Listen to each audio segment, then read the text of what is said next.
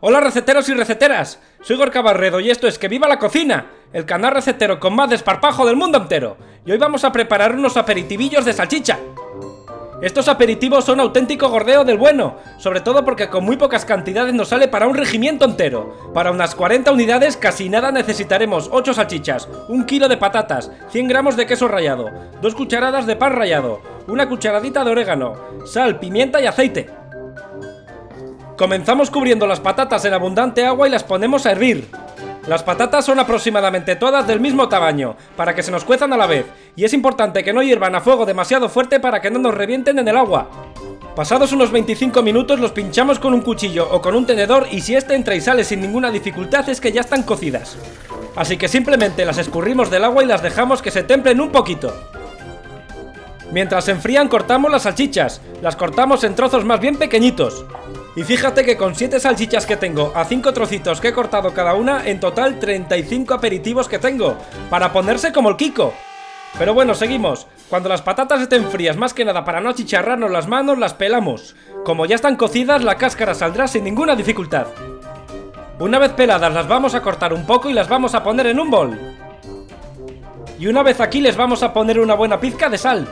Y también la ambrosía de los dioses griegos, pimienta negra recién molida, la pimienta, al igual que la sal, es un potenciador del sabor, pero a diferencia de esta, es mucho más saludable.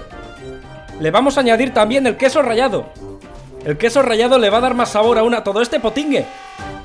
Y ahora le vamos a añadir el pan rallado, que hará dos funciones. Primero, que quede un poquito crujiente y segundo, también apelmazará un poco la masa, para que sea más maleable.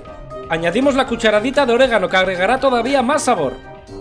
Y ahora con un tenedor y sin piedad aplastamos e integramos todos los ingredientes. Una vez bien aplastados y para no meter la gamba hasta el fondo, lo que toca hacer es probar esto para ver que no esté soso.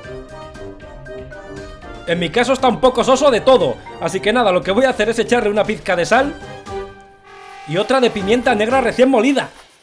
Y ahora sí que lo he probado fuera de cámara y está mucho mejor. Lo que vamos a hacer va a ser coger una porción muy pequeña de la masa. Con este poquito es más que suficiente. Lo vamos a aplastar un poquito con la mano. Y vamos a poner una de las mini salchichillas en el medio. Después la enrollamos con la masa de patata. Y finalmente con esta especie de movimiento que estás viendo lo vamos a enrollar sobre la mini salchichilla y lo vamos a colocar sobre un plato. Al final quedan como las alpacas de paja de toda la vida de los pueblos pero en versión mini. Aunque estoy seguro que esto sabe bastante mejor. Una vez que hayamos terminado con la primera tanda lo que vamos a hacer va a ser congelarlo durante unos 30 minutos. Pasado el tiempo los vamos a freír en abundante aceite muy caliente.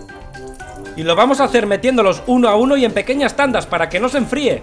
Los vamos a dejar aquí 30 segundos, no más, porque si no nos reventarán y se armará aquí el recigostrio padre. Si te gusta, por favor, dedito arriba y compártelo con tus amigos, que así me ayudarás a llegar a más personas y por tanto a hacer más vídeos. No te pierdas ninguna receta suscribiéndote al canal y que viva el recigostrio padre y la cocina.